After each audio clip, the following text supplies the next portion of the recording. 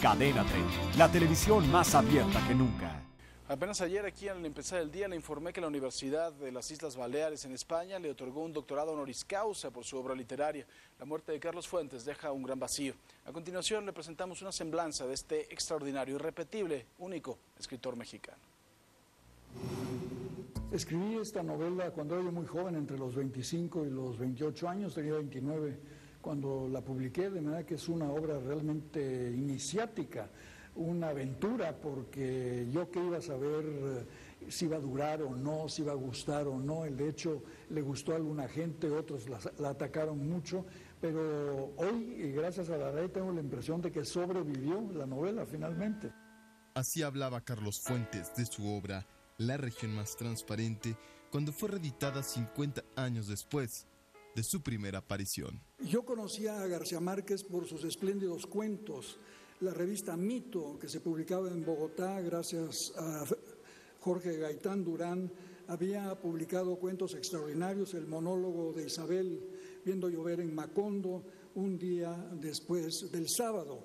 El hecho es que García Márquez y yo nos unimos para formar un eh, pequeño equipo de redactores de guiones cinematográficos y nos tocó hacer una película de Gabaldón que se llamaba El Gallo de Oro, basado en un precioso cuento de Juan Rulfo. Así recordaba cómo conoció a Gabriel García Márquez.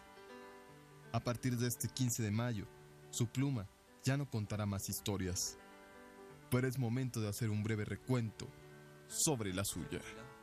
Nació el 11 de noviembre de 1928. De haber celebrado un cumpleaños más, habría alcanzado los 84 años.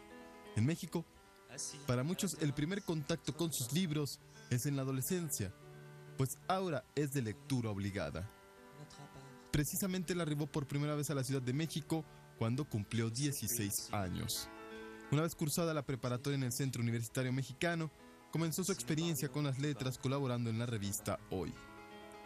Graduado en leyes por la Universidad Nacional Autónoma de México y en economía por el Instituto Altos Estudios Internacionales de Ginebra, es elegido integrante del Colegio de México en 1972 y presentado por Octavio Paz, dueño de la pluma más reconocida de México del siglo pasado. También desempeñó cargos diplomáticos. En 1975 fue nombrado embajador de México en Francia, pero más allá de sus cargos y sus grados académicos, son sus letras las que le han asegurado un lugar privilegiado en la cultura mexicana. Ahora, La silla del águila, Gringo Viejo, Las buenas conciencias y Terra Nostra son solo algunos de sus títulos más representativos. Aunque nunca le llegó el Nobel, su imaginación fue premiada con el Rómulo Gallegos en 1977, el Cervantes en 1987, el Príncipe de Asturias en 1994 y en 2009 con la Gran Cruz de la Orden de Isabel la Católica. Desde agosto de 2001, ingresó como miembro honorario de la Academia Mexicana de la Lengua. Él decidió ser un escritor profesional cuando era un sueño vivir de los libros, y por muchos años seguirá siendo punto de referencia. Mientras tanto, las letras mexicanas están de luto. Descanse en paz, Carlos Fuentes. Abraham Nava Noticias, Cadena 3. Cadena 30, la televisión más abierta que nunca.